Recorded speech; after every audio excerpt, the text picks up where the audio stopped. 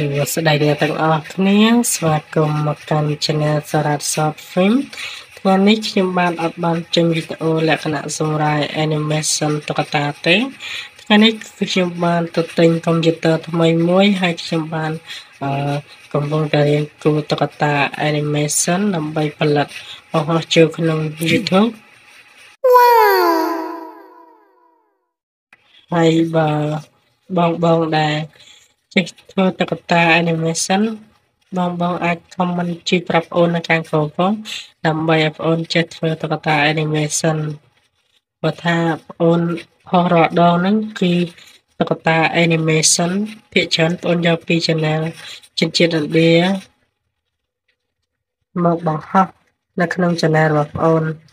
ហើយបានជាបងអូនទៅទិញកុំព្យូទ័រមករៀនកាត់ត ធ្វើតុក្កតា animation ខ្លួនឯងព្រោះថាយកពី channel គេមក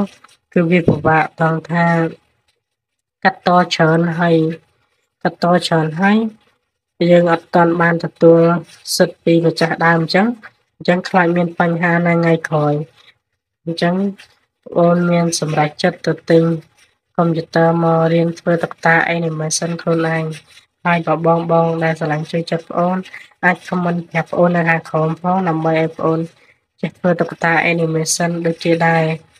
ហើយប្អូនពិតជាត្រេកអរណាស់រាល់ការគ្រប់គ្រងរបស់បងប្អូនដែលពីមុនមកបានចុច Subscribe ប្អូនម្នាក់មួយ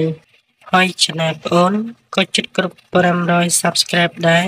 ខ្ញុំសង្ឃឹមថាពុកម៉ែប្អូននឹងអាចជួយចុច ឲ្យខ្ញុំបានគ្រប់500 Subscribe ហើយប្អូននឹងព្យាយាមធ្វើតុក្កតាដើម្បី